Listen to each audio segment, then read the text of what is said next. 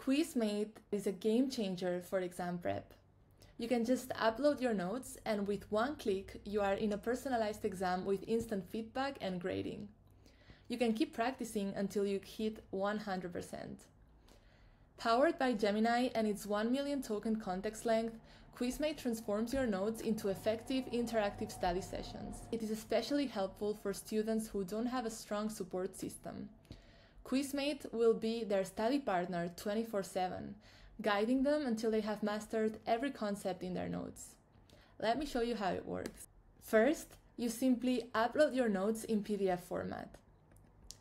Thanks to Gemini, Quizmate supports extensive materials so, can, so you can upload entire courses or even books without worrying about summarization. I'll go ahead and upload notes from my physics high school class. Next, you get to customize your quiz. You can choose the number of questions you want. Let's do two. You can also tune the difficulty. Just hit start quiz. And just like this, Quizmate instantly generates an interactive exam for you tailored to the content of your notes. As you go through the quiz, Quizmate will engage you to recall the concepts on your notes, giving you feedback on your answers.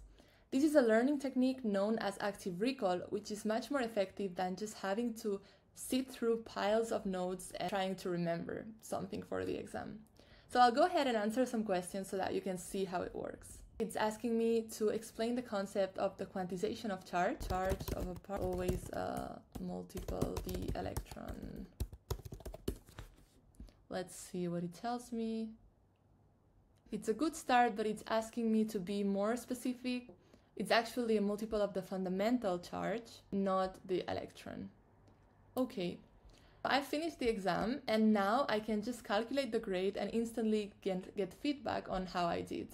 I got a 50 out of 100, so I still need to study a bit more to improve. I understood some basic concepts, but I need to be more precise in my definition. And for the second question, I had the right idea, but I didn't have a clear description. So I can now just hit on repeat quiz and I can repeat it until I have mastered the content of my notes and I am fully prepared for the exam.